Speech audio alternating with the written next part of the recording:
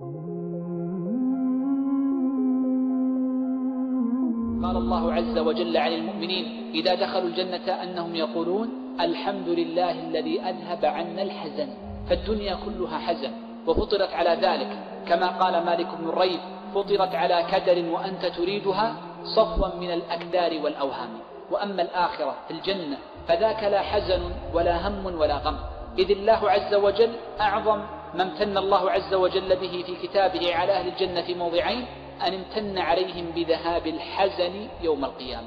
المؤمن إذا عرض له شيء من الهم والحزن خففه بما جاء في شرع الله عز وجل من الإيمان بالقدر وكثرة قراءة كتاب الله عز وجل والدعاء والتقرب إليه جل وعلا بالطاعات. وأختم بحديث عجيب عن النبي صلى الله عليه وآله وسلم وذلك فيما رواه الإمام أحمد والطبراني بإسناد جيد أن النبي صلى الله عليه وسلم قال جاهدوا في سبيل الله فإنه يطرد الهم والحزن.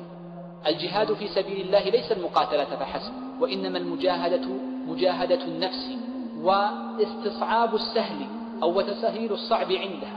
فإذا جاء قيام الليل جاهد المرء فيه نفسه. وإذا جاءت قراءة كتاب الله عز وجل جاهد المرء فيها نفسه. وإذا جاء طلب العلم جاهد المرء فيها نفسه. وقد قال أبو الدرداء رضي الله عنه لما رأى رجلا يمشي في طلب العلم قال هنيئا لهاتين القدمين فإنهما اغبرتا في سبيل الله. سمعت النبي صلى الله عليه وسلم يقول من سلك طريقا يلتمس به علما سهل الله له طريقا إلى الجنة. فمن جاهد نفسه في طاعة الله عز وجل فإن الله سيذهب عنه الهم والحزن. لذا قال إبراهيم بن أدهم إننا في طاعة الله عز وجل في نعمة. لو علم عنها أبناء الملوك لجالدون عليها بالسيوف وقال تلميذه سفيان بن سعيد الثوري إننا في طلب العلم في نعمة أو في لذة لو علم عنها الأغنياء وأبناؤهم لاشتروها منا بأغلى الأثمان. وما ذاك إلا لأن المرء يرزق في الطاعة لذة لا توازيها لذة ويجد فيها سعادة لا توازيها سعادة. ولكن ذلك لمن صدق مع الله عز وجل وعني بعبادة السر.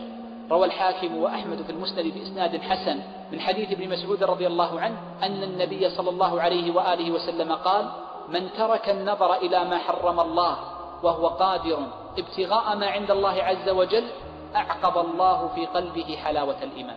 ومن وجد حلاوة الإيمان هانت عنده كل مصيبة وكل تكدر في هذه الدنيا.